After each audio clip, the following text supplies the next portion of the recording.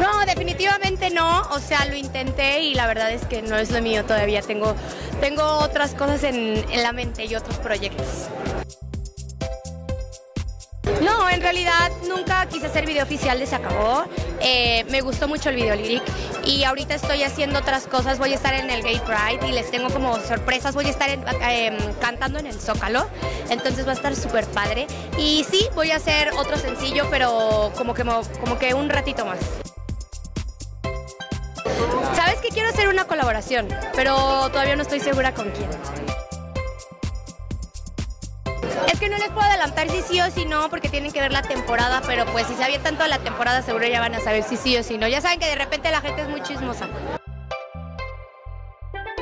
Sí, tengo para este 30 eh, un evento súper grande que es algo mío. Es sorpresa todavía, pero lo estoy poniendo ya en mis redes sociales y creo que les va a gustar mucho, sobre todo a las chicas.